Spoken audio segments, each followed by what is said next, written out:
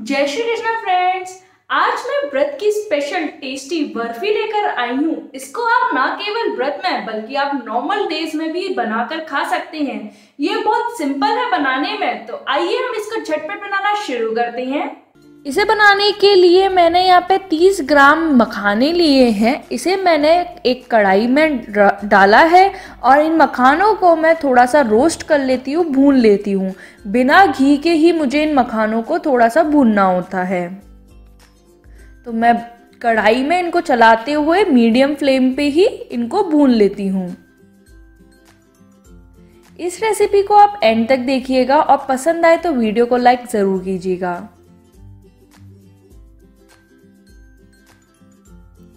अब ये तो मखाने मैंने भून लिए हैं, बिल्कुल भुन गया हमारा हल्का हल्का कलर चेंज हो गया है। मीडियम सिम गैस पे भुना था, मैंने गैस को बंद कर दिया और मैंने इन मखानों को एक प्लेट में निकाल लिया। अब इन्हें हल्का ठंडा होने देती हूँ और दोबारा से कढ़ाई गैस पे रखती हूँ। अब मैंने 500 सौ दूध लिया है, वो इसमें डाल देती हूँ। ये मैंने मखाने वाली कढ़ाई दोबारा से यूज़ कर ली है और दूध को अब मैं चलाती रहती हूँ थोड़ा गाढ़ा कर लेती हूँ। मुझे मीडियम सिम गैस पे दूध को चलाते रहना है, इसे छोड़ना नहीं होता, नहीं तो इसमें मिलाई पड़ जाएगी। हमें मिलाई पड़ने नहीं देनी होती है। चलाते हुए हमें बस दूध को थोड़ा गाढ़ा करना होता है। अब ये जो मखाने हैं, वो भी मेरे ठंडे हो गए हैं तो मैं इनको मिक्सी के जार में डालकर पीस लेती हूँ। थोड़ा दरदरा रह जाए, कोई दिक्कत नहीं है। इनको पीस के मैंने इस तरीके से तैयार कर लिया है। ये आप देख सकते हैं। और उधर मैं अपने दूध को देखती हूँ। अभी हमें थोड़ा सा और गाढ़ा करना है। अभी थोड़ा पतला रह गया है। आप जैसे देख सकते हैं।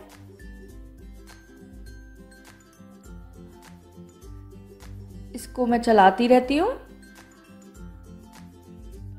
अब इसमें मैं डालूँगी शक्कर, ये है चार टेबलस्पून शक्कर मैंने ली है, वो मैं इसमें डाल देती हूँ। और शक्कर थोड़ी कम ज़्यादा आप अपने पसंद से कर सकती हो। और मैंने इसे भी अच्छे से इसमें मिक्स कर लिया है। तो फ्रेंड्स मेरी शक्कर भी अब इसमें अच्छे से मिक्स हो गई है और दूध आप देख ही सकते हैं, काफ़ी गाढ़ा हो ही चुका है।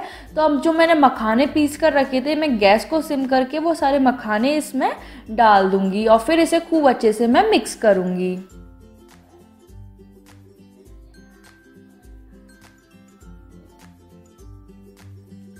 ये सब चीज़ें अच्छे से मैं मिक्स कर लेती हूँ, बिल्कुल।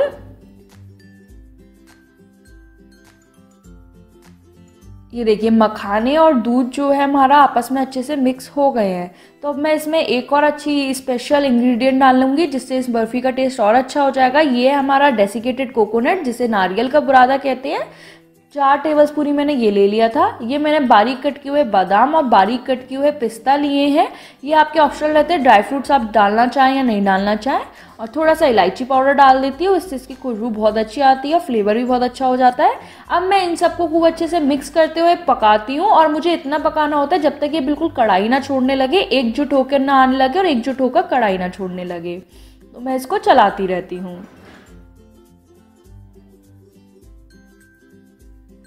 ये देखिए बिल्कुल अच्छे से कुक हो गया है, जैसे कि आप देख सकते हैं। कढ़ाई भी छोड़ने लग गया। अब मैं एक प्लेट में, मैंने इसे घी से, देसी घी से ग्रीस करके रखा हुआ रखी हुई है पहले से ही।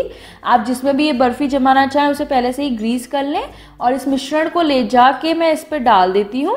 और अब मैं इसकी बर्फ़ी जैसी भी शेप आपको देनी है, इसको सेट करने के लिए इसको रख देती हूँ अच्छे से पहले। ये देखिए, मैंने इसको भी सेट कर ली है। अब मैं इसके ऊपर थोड़े से डेकोरेशन के लिए ड्राई फ्रूट्स डाल देती हूँ। ये आपके ऑप्शनल है। अगर आप डालना चाहें तो डालें, वरना आप स्किप भी कर सकते हैं। मैंने पिस्ता और बादाम थोड़े थोड़े दोनों चीज़ें इस पर डाल दी हैं।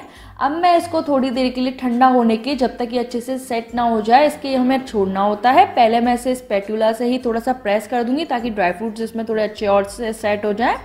अब मैं इसे ढक कर या फिर ऐसे ही नॉर्मली साइड से सेट होने के लिए रख देती हूँ। अपने आप ही थोड़ी देर में ये बिल्कुल ठंडी हो जाती है और एकदम सेट हो जाती है, बर्फ़ी बन के तैयार हो गई है। अब मैं इसको पीसेस में कट करती हूँ और देखिए हमारी ये सॉफ्ट मुलायम मखाने की बर्फ़ी और ये स्पेशल बर्फ़ी इसलिए भी है क्योंकि आप इसको normal day to day use में तो बना ही सकते हैं। साथ ही साथ अगर आपका व्रत में कुछ मीठा खाने का मन है तो आप इसको व्रत में भी बना सकते हैं। और देखिए, मेरी बर्फ़ी जो है वो बिल्कुल बनकर तैयार हो चुकी है। अब मैं बाकी सारे पीसेस भी बाहर निकाल लेती हूँ एक एक करके।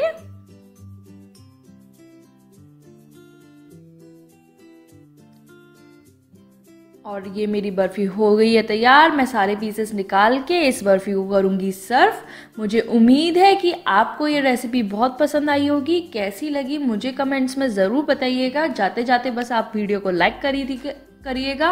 और अगर आपको पसंद आई है तो फ्रेंड्स और फैमिली मेंबर्स के साथ शेयर भी ज़रूर कीजिएगा। अब मैं अपनी नेक्स्ट वीडियो में मिलूँगी। तब तक के लिए बाय